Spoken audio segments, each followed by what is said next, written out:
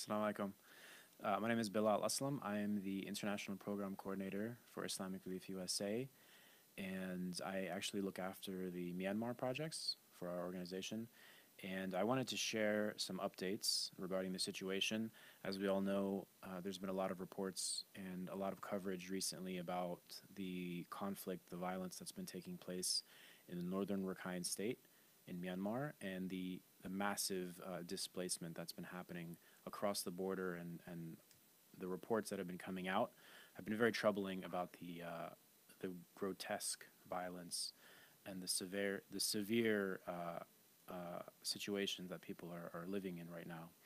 So you may not have uh, heard much from us and maybe wondering what, what it is that we're doing.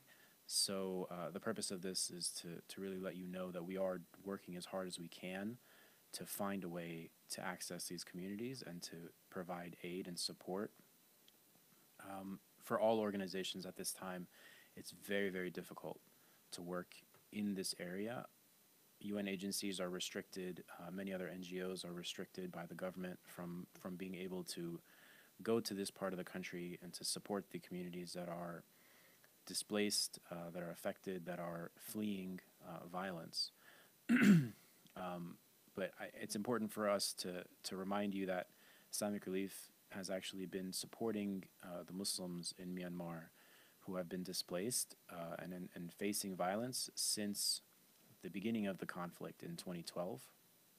So, for almost five years, we've been uh, working both in Bangladesh initially and also inside Myanmar, uh, working with the communities to provide emergency health support, uh, food aid, and also sheltering support. And this is something that we will continue to do and continue to support with um, as the communities that are currently affected begin to become accessible. We will, uh, inshallah, find a way to reach them, to support them, and to continue to provide aid uh, in accordance to our normal procedure. There are many that are currently in Bangladesh, something like half a million or so uh, have crossed in the past few weeks, which is a staggering number, and uh, the conditions that they're living in are also very, very poor. However, the government of Bangladesh is also restricting access to these refugees. Uh, we're, we're hoping, we're trying our best to, to find a way to, to deliver aid and to support those communities that have survived the violence, that have fled. However, at this time, um, we're still not being given access. Hopefully, uh, soon something can can open up for us, and whenever that that chance arises, we will be putting together a response. And also inside of uh, Myanmar in the northern Rakhine state, our teams on the ground uh, are are trying as best as they can to gain access. So access is the main issue and the main uh, buzzword that we're hearing a lot. Uh, there's a lot of restriction not just for NGOs, but also for the Muslims in the country. Um, they're facing a lot of restrictions in movement and in, in, in access even to basic life, uh, life services. Um, this is an ongoing need that they've had and an ongoing struggle that they've been facing. I was actually able to, to visit Myanmar two years ago in 2015 and visited some of the camps where Islamic Relief is working uh, some of the internment camps where people are are locked away essentially and not able to leave. They're they're shut out from society and rely solely upon the government or upon other NGOs, uh, government organiz- non-government organizations, uh, organizations like Islamic Relief, uh, to provide them with basic basic services: food, water, education, healthcare, and and they're struggling. So this is a situation that we've been following since 2012 for for the duration of the conflict, and it's something that we we intend to continue to work work for and, and to support as best as we can.